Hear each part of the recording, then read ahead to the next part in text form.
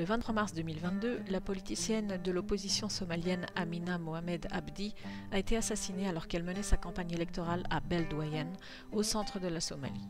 Cet attentat a été revendiqué par le groupe terroriste Al-Shabaab.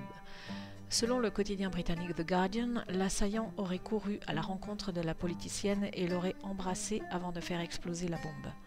Amina Mohamed Abdi était en pleine campagne électorale. Elle était connue pour sa position critique à l'égard du gouvernement somalien en place. Confrontée à cet attentat, j'ai décidé de publier un essai d'Ahmed Zaki Yamani, que j'avais traduit il y a quelques années du vivant de l'ancien ministre du pétrole du Royaume d'Arabie saoudite. Ahmed Zaki Yamani est certainement connu de nombreux lecteurs parce qu'il a été victime de la prise d'otage de l'OPEP à Vienne en 1975. Cependant, peu de gens connaissent son essai sur les droits des femmes dans l'islam, dans lequel il traite de la compétence politique des femmes dans le cadre de la loi islamique. Ahmed Zaki Yamani est né à la Mecque en 1930, a étudié au Caire, à New York et à Harvard, puis a enseigné en Arabie saoudite à l'université de Riyad. Il a ensuite commencé sa carrière politique au ministère du pétrole et au ministère des ressources minérales entre 1962 et 1986. Dans les années 70, Zamani a travaillé en étroite collaboration avec l'OPEP. C'est dans ce contexte que se situe son enlèvement. Il a été démis de ses fonctions au ministère saoudien du pétrole en 1986.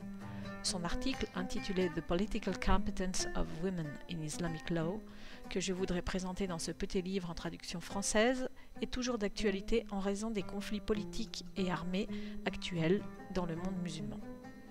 En outre, cette contribution d'Ahmed Zaki Yamani est pionnière, car elle ne parle pas seulement des droits, mais surtout des compétences et des devoirs des femmes dans le cadre de la politique islamique. Parce que les droits des femmes signifient avant tout des devoirs des femmes et donc aussi l'acquisition de compétences par les femmes musulmanes afin de faire entendre leur voix dans la politique et la société islamique.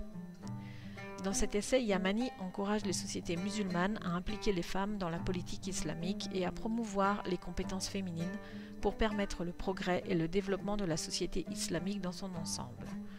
Pour le politicien et juriste saoudien, l'implication des femmes dans la politique n'offre pas seulement une possibilité ou une option.